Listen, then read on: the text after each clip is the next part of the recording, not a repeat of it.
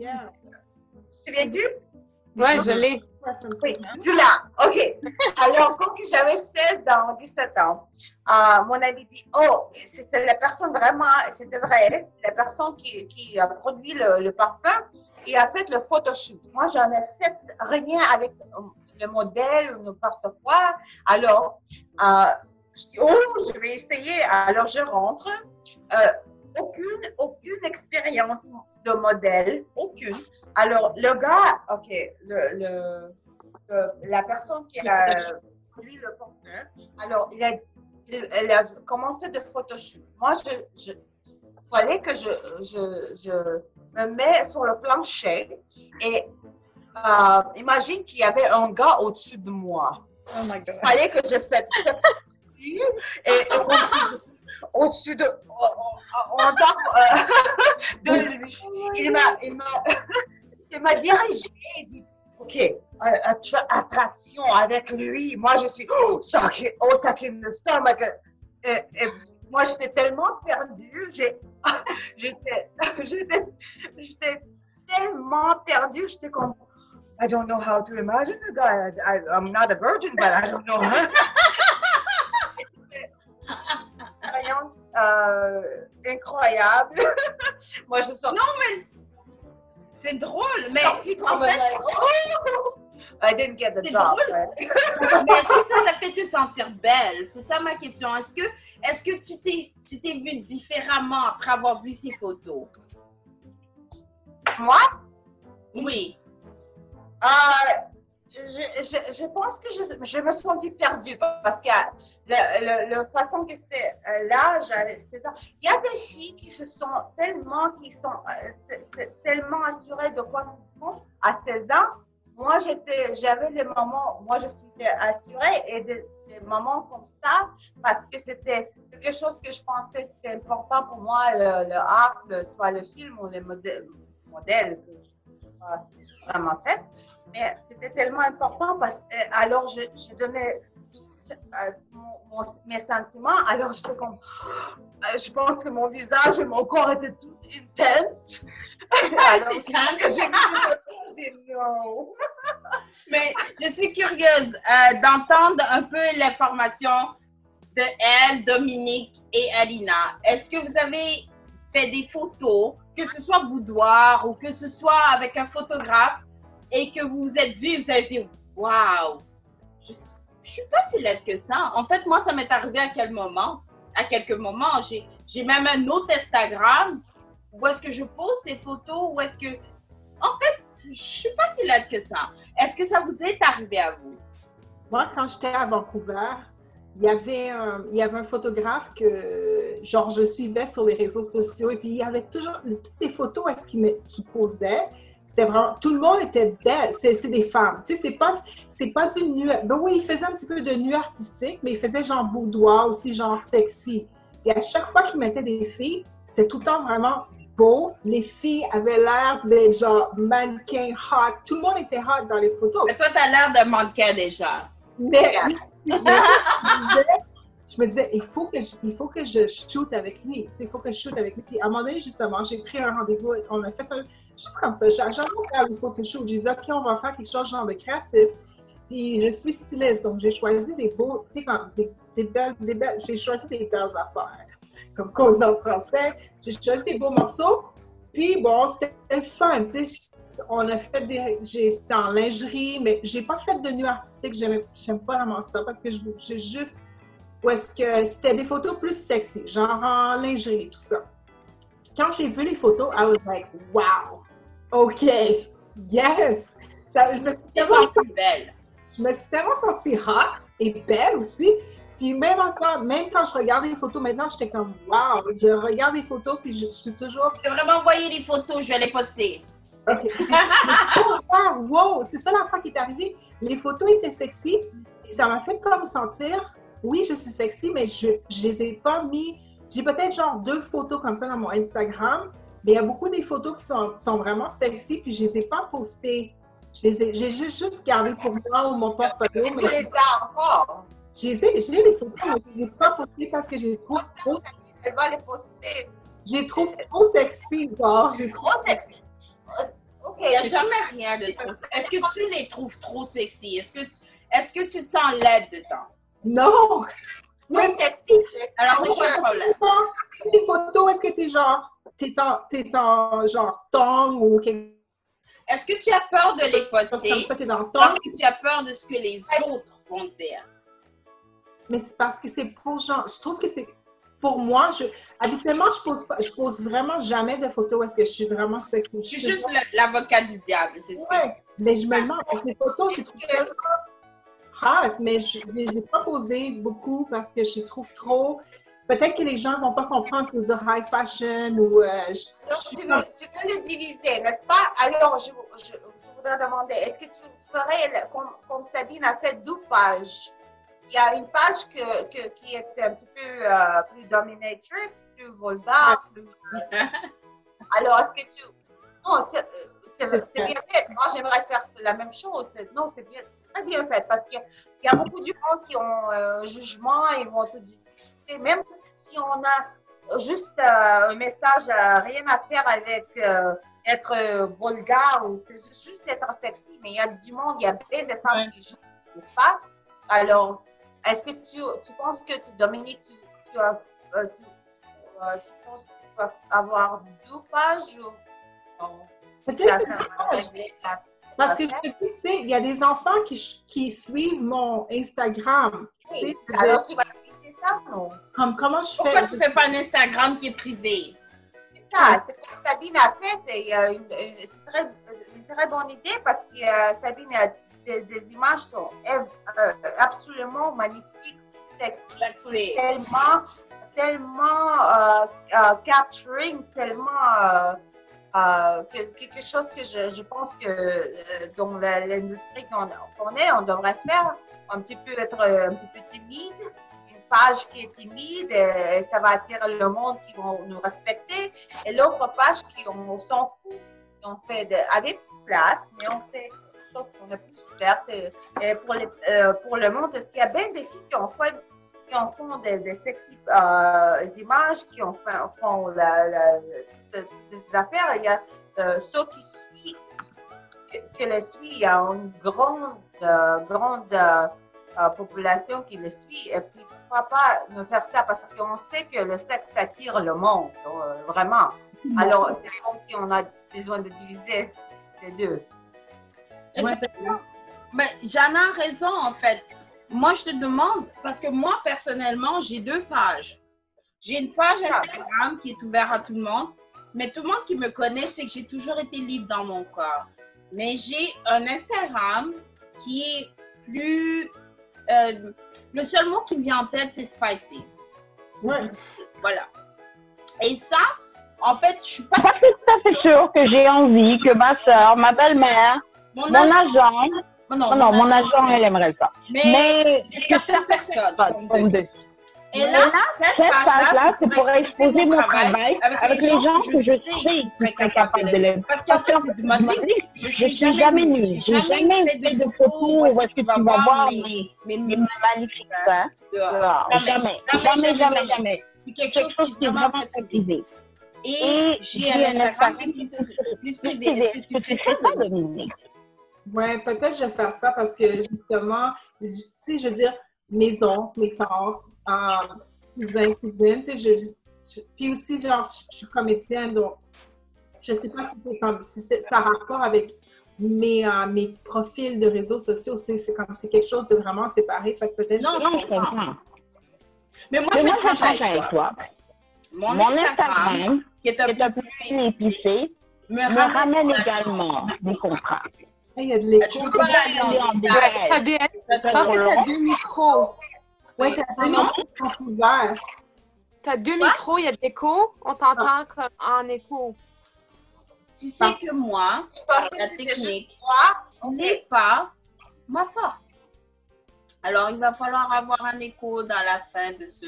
Non, tu es correct là. C'est réglé. grave. Tout est réglé. Moi, je suis bonne à créer des projets. Mais quand il s'agit de la technique, On tout- on- on- on- on- on commence à crier. mais Dominique, c'est quelque chose que tu serais prêt à faire, avoir deux Instagram ou deux Facebook? Ouais. En fait, je je suis curieuse. J'ai pas eu la réponse d'Alina, j'ai pas eu la réponse de elle. Est-ce que les photos de boudoir, moi je suis curieuse parce que j'aime, je, je veux vraiment avoir l'idée de qu'est-ce que vous pensez. Est-ce que la photographie vous fait vous sentir belle? Moi, j'ai une idée. On devrait tout le monde prendre euh, les photos de boudoir ensemble. Étudier en photographie en passant. Venez me voir, je vais prendre des photos de vous.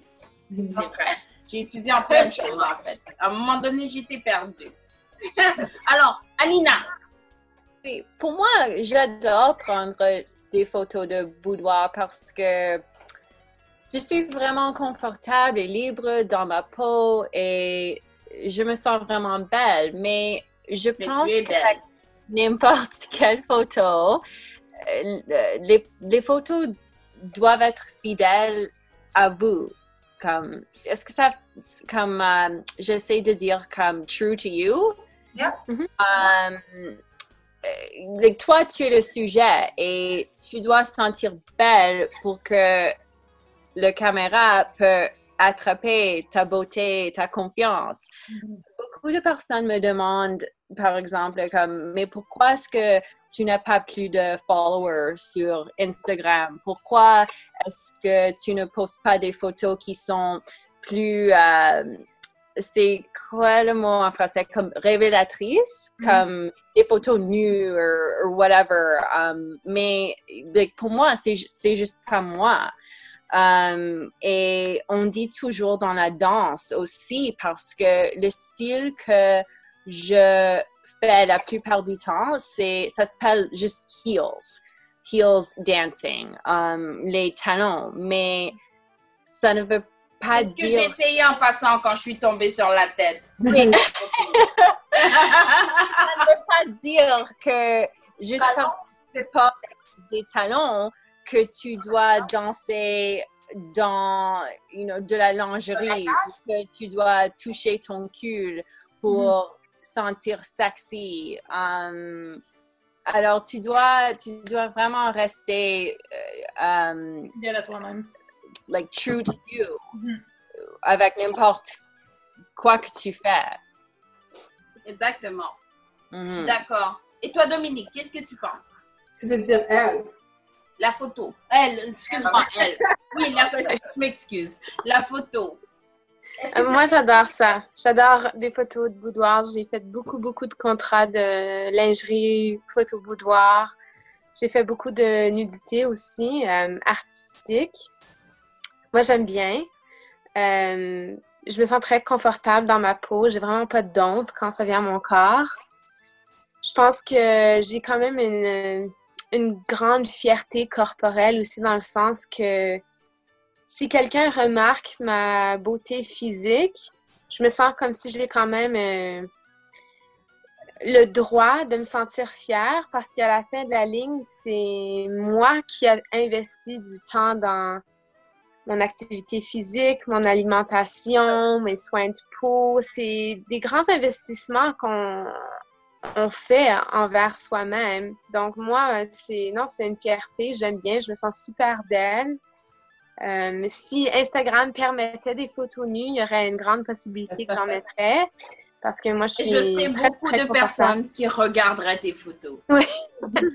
Mais, puis, ouais, moi, comme, comme on parlait des routines au début, moi, j'aime bien, me lever le matin, laver ma face, mettre mon hydratant, mettre ma crème pour les yeux. Pour moi, c'est pas une affaire nécessairement de vanité, mais de me respecter en tant que personne, de respecter ma peau, de donner la nutrition à ma peau qui est nécessaire, de vraiment prendre soin de moi-même, autant externe qu'interne, donc physique et émotionnel.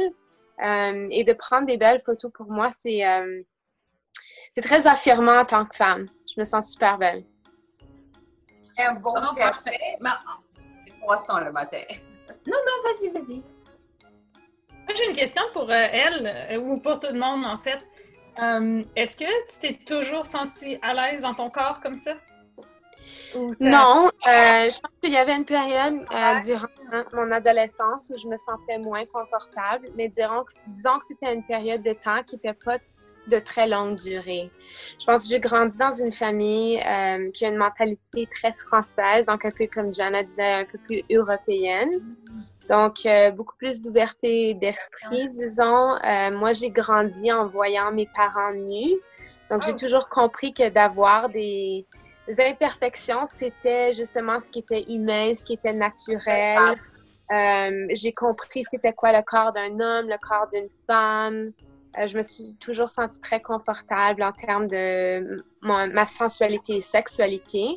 Mais j'ai passé une période un peu difficile durant mon adolescence où justement j'étais très, très, très euh, attardée à mon apparence physique.